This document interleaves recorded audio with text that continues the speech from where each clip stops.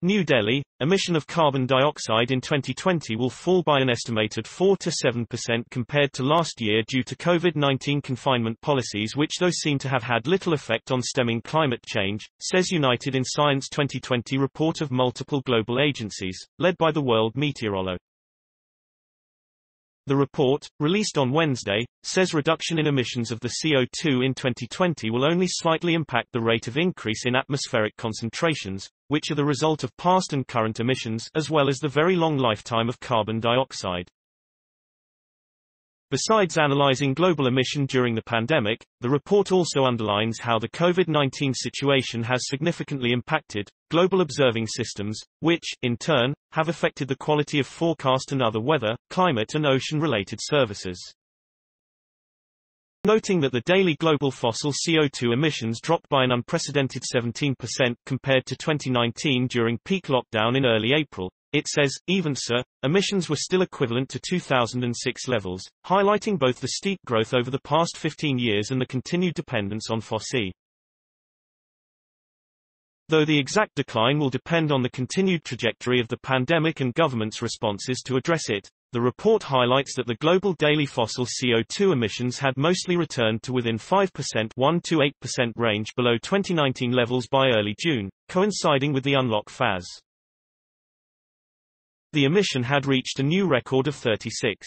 7 gigatons GT last year which is 62% higher than 1990 the year which saw the beginning of climate change negotiations.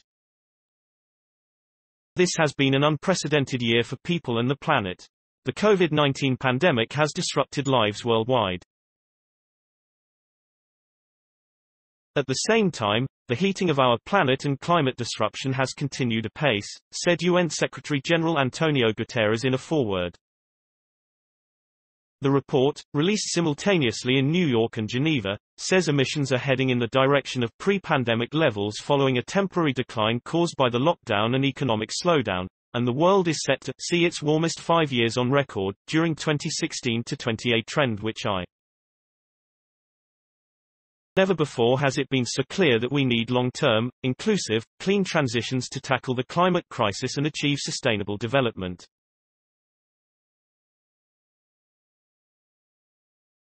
We must turn the recovery from the pandemic into a real opportunity to build a better future, said Guterres.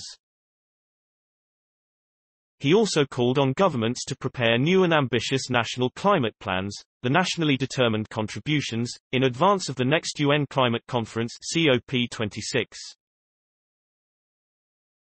On the impact of pandemic on global observing systems, the report says that reduction of aircraft-based observations by an average of 75% to 80% in March and April degraded the forecast skills of weather models.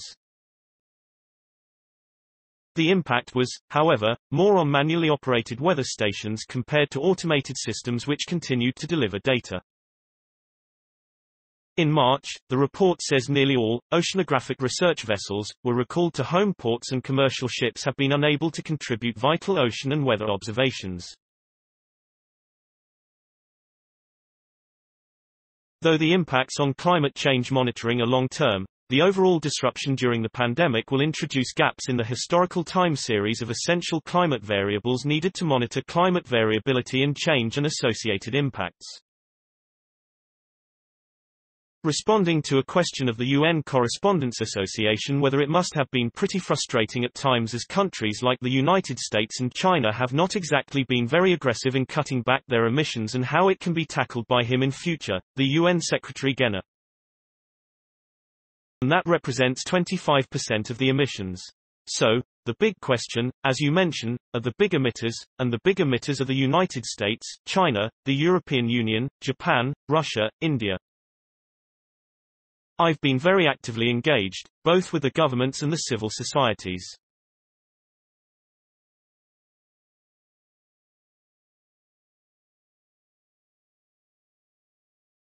I made recently conferences to a Chinese university, to an Indian university, aiming at convincing the big emitters, all of them, that it is absolutely crucial for them to commit to carbon neutrality in 2050 and to commit to a reduction of the emissions up to 2030 of 45%.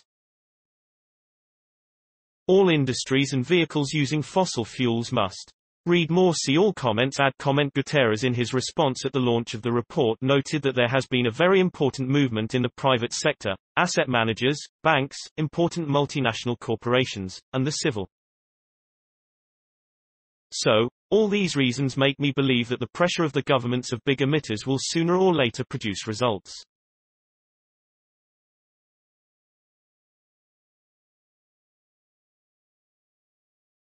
It will be possible to have a global commitment and the nationally determined contributions change that will be presented up to the COP26 in Glasgow are the real opportunity to do so.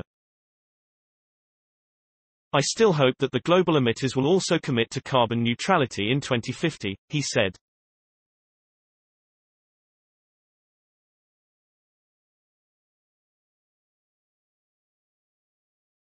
Please support our channel to grow by pressing subscribe button as well as the bell icon for environment updates.